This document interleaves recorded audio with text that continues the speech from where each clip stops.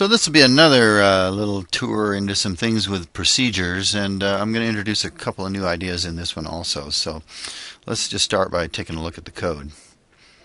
Notice that we do have three sheets in this workbook, sheet 1, 2, and 3. That's something that will come up later. So uh, I'm just going to start out by looking at my main. And again, uh, you're getting tired of hearing it, but main is just an arbitrary name, but it's a good one for the main driver in your code. So declare a number of variables for last row, column, and start row. Initialize those variables to uh, column 1, start row 1, and I used the find last row function that I copied off of our Blackboard website to find the last row.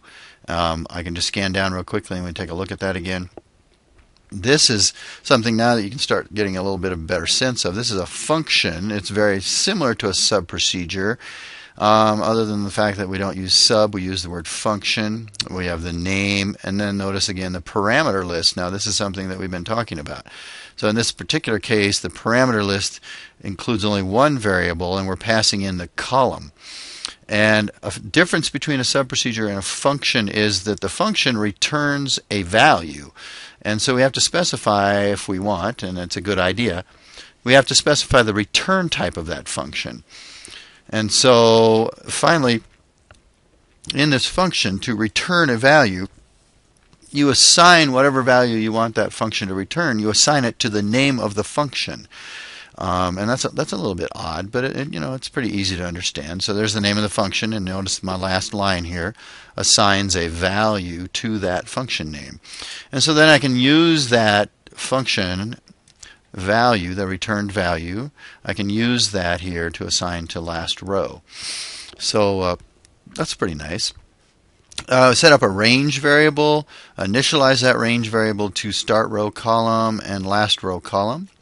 And then I'm calling my copy positive, um, and that will copy the positive numbers from the range. And it indicates where it's going to copy them to. Notice it says it's copying them to sheet 2. And indeed, you'll notice here that sheet 2 is a string variable. See the quotes there. So this is a, a procedure with two arguments. Um, the first argument, of course, is the range that I'm going to uh, have it scan through. And the second argument is the sheet where I want it to copy the positive numbers to. So let's take a look at that procedure. so here's copy positive, and again, because we had two arguments in the call to copy positive, two arguments, the first being the range and the second being the string, we better have two arguments in our parameter list. And so if we study this parameter list carefully, it's, it's pretty easy to see that the very first argument, this variable, a range variable, lines up nicely with the range variable in our call to the subprocedure. Again, it's a one-to-one correspondence. The first argument matches the first parameter in your parameter list of your procedure. The second argument we notice here is a string variable, so the second argument here better be a string variable, and indeed you'll notice that it is a string variable. And the name of that variable is sheet name. Anytime we declare a variable in a parameter list for a procedure or a function, these variables act identically to a variable that was declared with a dim statement. The only real difference is that we don't have to initialize these variables in the parameter list because they get initialized when the person calls the procedure the value gets passed in and that parameter is initialized and so it gets its value from outside the procedure. Again, this is kind of a communication channel, if you will, so we can send information to the procedure. So we have a range variable and we have a string variable for the sheet name. Let's take a look at the rest of this procedure. So I declare another range variable just called cell. And if we jump ahead just a minute, you'll notice that I'm using that in my for each loop here. Because your for each loop still has to have a control variable and in this case it's cell. That's the variable that gets changed every time this loop comes around to the next statement.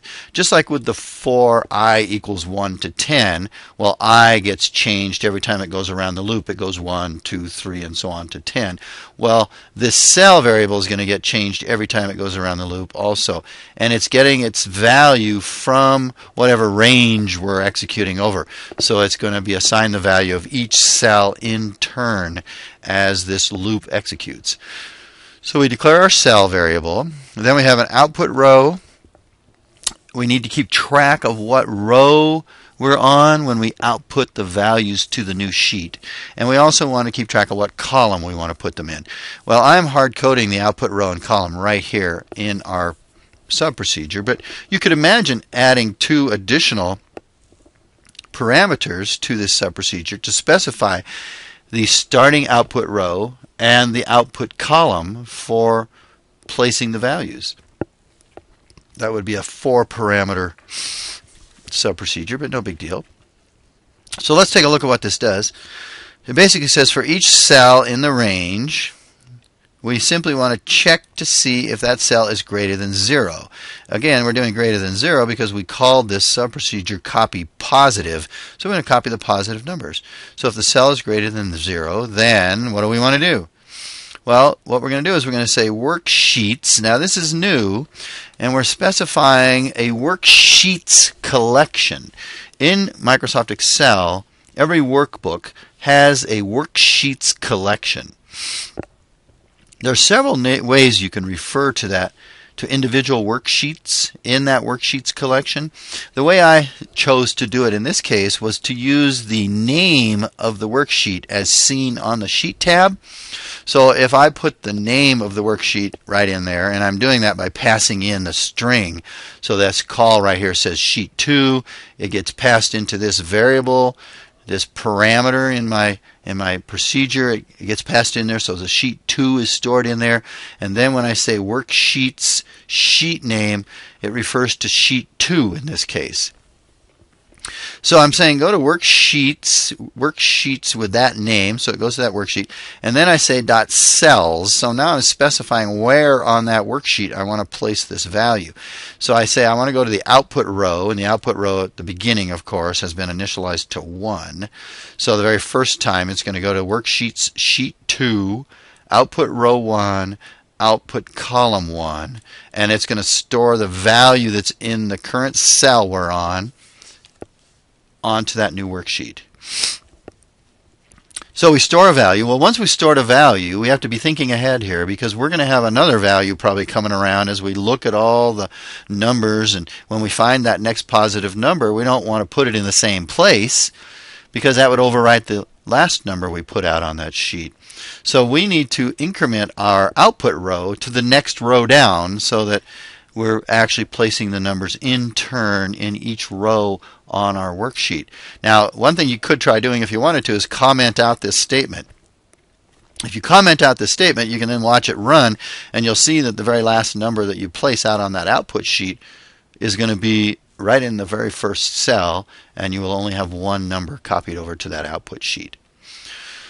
So here's the end if, and then next cell goes around, grabs the next cell, and continues this process. So this is a pretty straightforward idea. Um, you definitely need to type this code in and give this a shot. And again, pay attention to my indenting here because this is the style of indenting you want to use here. Notice that my for loop is indented one stop. Everything inside the body of that for loop is indented one tab stop. Everything inside the body of the if statement is indented an additional tab stop. So I've got a little stub right here for copy negative. Now copy negative is, as you can imagine, going to look very similar to copy positive. So all you need to do is pretty much copy that code that was above there and, and uh, make the little slight change that's necessary. But this will make the code a little bit more real to you when you do it. Another idea that if you wanted to is you could actually add two more parameters to the parameter list on both of these methods, these procedures. And you could pass in what the output row, the starting output row is, and the output column that you want them to be placed in. And uh, see if you could get that to work. That would be a nice little uh, change to this. It would be fairly easy to do. So uh, give that a shot and uh, see how that goes.